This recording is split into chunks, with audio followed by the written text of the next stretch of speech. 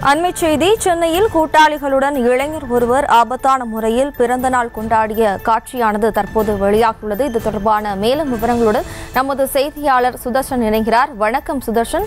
இது தொடர்பான விவரம்.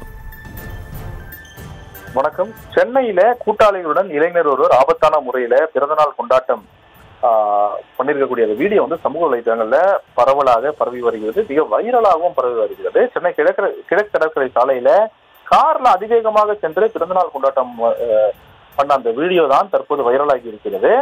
சாலையில சென்ற மற்ற வாகன ஓட்டிகளை அச்சுறுத்தும் வகையிலே இந்த பிறந்தநாள் கொண்டாட்டம் வந்து விபரீதமா விபரீதமான செயல் அப்படின்னு சொல்லிட்டு சமூக வலைதளங்கள்ல கடும் கண்டனங்கள் இருந்து வருகின்றன.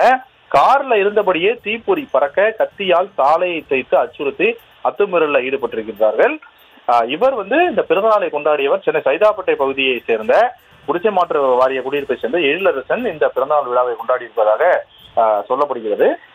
இவருடைய பிறந்தநாள் விழாவை தான் அவருடைய நண்பர்கள் கிட்டத்தட்ட கார்ல படைசூட அவரை வந்து அழைத்து வந்து ஈசிஆர்ல இருக்கக்கூடிய ஒரு பிரைவேட் இடத்துல மாலை அணிவித்து அதாவது ஆல்ரெடி உயர மாலை அதாவது கிரெயின் மூலியமாக அணிவித்து இந்த பிறந்தநாள் விழாவை கொண்டாடி இருக்கிறாங்க. இந்த பிறந்தநாள் விழா கிழக்கு கடற்கரை சாலையில அதுவும் அந்த சாலையில செல்லக்கூடிய மற்ற வாகனங்களுக்கு நடுவே ஒரு கார்ல கத்தியை வெளியே நீட்டி அந்த கத்தியை வந்து சுழட்டி அது மட்டும் இல்லாம சாலையில தேய்த்து தீப்பொறி பறக்க அந்த கார்ல வந்து இந்த பிறந்தநாள் விழாவை கொண்டாடி இருக்கிறாங்க.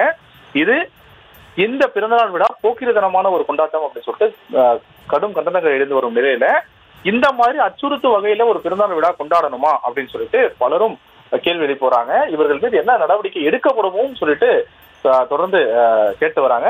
இது குறித்து போலீசார் விசாரணையும் செய்து வருகிறார்கள். லீ பிரதர்ஸ் என்ற இன்ஸ்டாகிராம் பக்கத்துல தான் எங்களுக்கு எதிரிகளே இல்லை என்ற வாசகத்துடன் கூடிய அந்த பக்கத்துல ஐம்பதுக்கும் மேற்பட்டோர் கூடி இந்த பிறந்தநாள் விழா கொண்டாட்டத்தில் ஈடுபட்டது.